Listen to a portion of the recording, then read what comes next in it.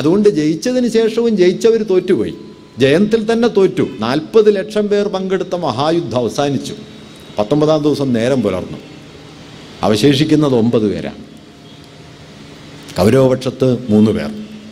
പാണ്ഡവപക്ഷത്ത് പഞ്ചപാണ്ഡവന്മാരും സാത്യകിയും. ബാക്കി എല്ലാവരും പതിനെട്ടാം ദിവസത്തെ അർദ്ധരാത്രിയിൽ അവസാനിച്ചു. ആ പർവത്തിന്റെ പേര് തന്നെ ഗംഭീരാണ്. സൗപ്തിക പർവം. സുഷുപ്തിയിലാണ്. എല്ലാവരും ഉറക്കത്തിലാണ്. ഒരു മൂങ്ങ വന്ന് കാക്കക്കൂട്ടത്തെ ആക്രമിച്ച് കൊല്ലുന്നത് അശുദ്ധാമാവ് കാണുന്നു. ഇരുട്ടൊരു വഴിയാണ് എന്ന് അശുദ്ധാമാവിന് മനസ്സിലാവുന്നു.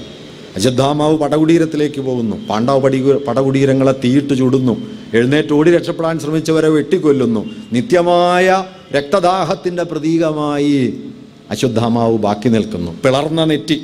നെറ്റിക്കണ്ണിൽ ജ്വലിക്കും ആപൽദ്യുതിയോടെ എന്ന് പിന്നീട് കവി എഴുതിയതുപോലെ.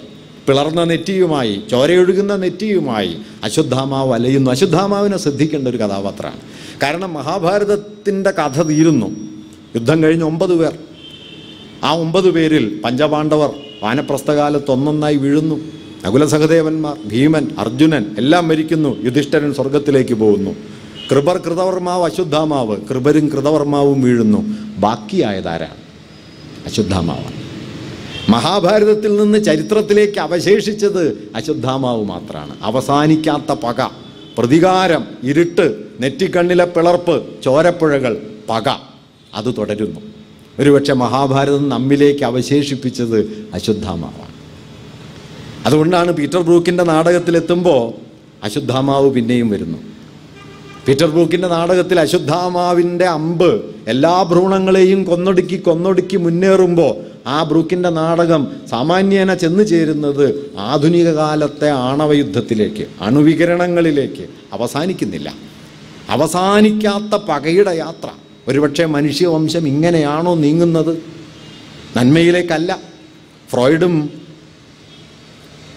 ഐൻസ്റ്റൈനും തമ്മിൽ നടക്കുന്ന ഒരു കത്തടപാടുണ്ട്. രണ്ടാം ലോകയുദ്ധത്തിന് മുമ്പ്. ഐൻസ്റ്റൈൻ ഫ്രോയിഡിനോട് ചോദിക്കുന്നു എന്തുകൊണ്ടാണ് ഇങ്ങനെ?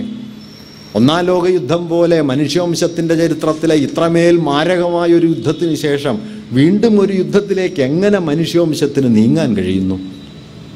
ഫ്രോയിഡ് പറഞ്ഞ ഒരു മറുപടി അത് മനുഷ്യവംശത്തിന്റെ സഹജമായ പ്രകൃതമാണ്.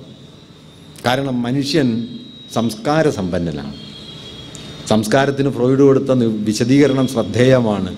Culture is the indirect realization of suppressed feelings ദമനം ചെയ്യപ്പെട്ട വാസനകളുടെ പരോക്ഷ പ്രകാശനമാണ് സംസ്കാരം. അതുകൊണ്ട് ഇരുട്ടിലേക്ക് ഇരുട്ടിലേക്ക് അമർത്തി വയ്ക്കുന്ന വാസനാ സഞ്ചയങ്ങൾ മറ്റേതോ നിലയ്ക്ക് പൊട്ടിപ്പുറപ്പെടുന്നു. അതുകൊണ്ട് നാം സംസ്കൃതരാകും തോറും നാം പ്രാകൃതരായിത്തീരും.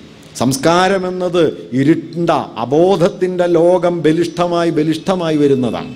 അതുകൊണ്ട് നാഗരികരാകും തോറും വാസ്തവത്തിൽ നാം കൂടുതൽ വന്യതയിലേക്ക് കൂടുതൽ ഹിംസാത്മകതയിലേക്ക് കൂടുതൽ വിദ്വേഷത്തിലേക്ക് കൂടുതൽ പകയിലേക്ക് നാം നീങ്ങും. അതുകൊണ്ട് ഒന്നാം ലോക യുദ്ധത്തെക്കാൾ ഭീകരമായ ഒരു രണ്ടാം ലോക യുദ്ധം മനുഷ്യവംശത്തിന് അസാധ്യമല്ല എന്ന് രണ്ടാം ലോക യുദ്ധത്തിന് മുമ്പേ ഫ്രോയിഡ് പറഞ്ഞിരുന്നു. അദ്ദേഹത്തിന്റെ ഗംഭീരമായ ഒരു വാക്കുണ്ട് modern civilization is a leaning tower ഒരു ചായുന്ന ഗോപുരം. സർവനാശത്തിലേക്ക് പതുക്കെ പതുക്കെ ചായുന്ന അന്തിമമായ സർവനാശത്തിലേക്ക് നിലമ്പൊത്തുന്ന ഒന്നായിട്ടാണ് മനുഷ്യവംശ നാഗരികത നിലനിൽക്കുന്നത് എന്നാണ് ഫ്രോയിഡ് കരുതിയത്. അതുകൊണ്ട് നിങ്ങൾ പുരോഗമിക്കുന്നത് ഈ സർവനാശത്തിലേക്കാണ്. ഒരുപക്ഷെ ഈ പുരോഗതിയുടെ പേരാണോ അശ്വത്ഥാമാവ്? നാം ഇന്ന് എത്തി നിൽക്കുന്ന പുരോഗതിയുടെ പേരാണോ? സർവതിനെയും വെട്ടിച്ചുട്ട് സർവതും കുത്തിക്കവർന്ന് പടയോട്ടങ്ങളായി പലായനങ്ങളായി രക്തപ്പുഴകളായി നാം ആർജിച്ച നന്മകളെ മുഴുവൻ വിഴുങ്ങാൻ പോന്ന വിപരീത മൂല്യമായി നമ്മെ ഗ്രസിക്കുന്ന പുരോഗതിയുടെ പേരാണോ അശുദ്ധമാവ് നോക്കൂ മതം എന്ന പേരിൽ നമ്മുടെ മുമ്പിൽ വന്ന ഒരു സംവിധാനം. അത് വാഗ്ദാനം ചെയ്ത എല്ലാ നീതികൾക്കും വിപരീതമായി. മനുഷ്യരെ നിരനിരയായി നിർത്തി ശിരസറുക്കാൻ പോന്ന പ്രാകൃതത്വമായി. മനുഷ്യവംശത്തിന്റെ ചരിത്രത്തിൽ ഇക്കാലം വണ്ട ഇക്കാലം വരെ ഉണ്ടായ ഏറ്റവും നൃശംസതയുടെ ആവിഷ്കാരമായി മതം പ്രവർത്തിച്ചുകൊണ്ടിരിക്കുന്നത് നമ്മൾ കാണുന്നല്ലോ. നമ്മൾ കരുതിയത് മധ്യകാലയുഗമാണ് മതത്തിന്റെ പ്രാകൃതകാലം എന്നാണ്. അതിനേക്കാൾ എത്രയോ വലുത്? മതങ്ങൾ നടത്തിയ കൂട്ടക്കൊലകളേക്കാൾ എത്രയോ വലിയ കൂട്ടക്കൊലകൾ ദേശസ്നേഹത്തിന്റെ പേരിൽ നമ്മൾ നടത്തി. ഇരുപതാം നൂറ്റാണ്ടിലെ വലിയ സാമൂഹ്യ ചിന്തകരിൽ ഒരാൾ പറയുന്നുണ്ട് മനുഷ്യവംശം ഇക്കാലം വരെ നടത്തിയ എല്ലാ കൂട്ടക്കൊലകളിലും കൊല്ലപ്പെട്ടവരുടെ പേ എണ്ണം ചേർത്ത് വയ്ക്കൂ. അതിനേക്കാൾ കൂടുതലാണ് ദേശീയതയുടെ പേരിൽ കൊല ചെയ്യപ്പെട്ടവരുടെ എണ്ണം. എന്നിട്ടും നിങ്ങൾ ദേശീയതയെ മഹത്തായ ഒരാശയമായി കാണുന്നോ? നാം പുരോഗമിച്ചതാണോ അശുദ്ധാമാവിലേക്ക് അതുകൊണ്ട് അശുദ്ധാമാവ് തുടരുന്നു. നമ്മുടെയൊക്കെ ഈ ചുറ്റുവട്ടങ്ങളിൽ പകയായി പിളർന്ന നെറ്റിക്കണ്ണായി ഒഴുകുന്ന ചോരയായി അവസാനിക്കാത്ത രക്തപ്പുഴകളായി പലായനങ്ങളായി വേട്ടകളായി ഇരുട്ടാണ് വഴിയെന്ന് കരുതുന്ന പ്രാകൃതമായ ഹിംസയായി. നോക്കൂ അങ്ങനെ നമ്മുടെ വീട്ടുവഴികളിലുണ്ടാവും.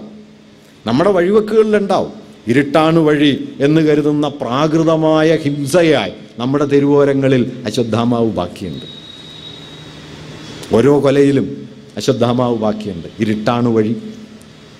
അതുകൊണ്ട് അശ്വത്ഥാമാവ് എന്നുള്ളൊരു കഥാപാത്രം അവസാനിക്കുന്നില്ല. അത് നമ്മിലേക്ക് തുടർന്ന് നിൽക്കുന്നു എന്ന് വേണമെങ്കിൽ പറയാം. നെറ്റിക്കണ്ണിൽ ജ്വലിക്കും ആപൽദ്യുതിയോടെ എന്ന് ബാലേന്ദ്രൻ മറ്റൊരു സന്ദർഭത്തിൽ എഴുതുന്നുണ്ട്.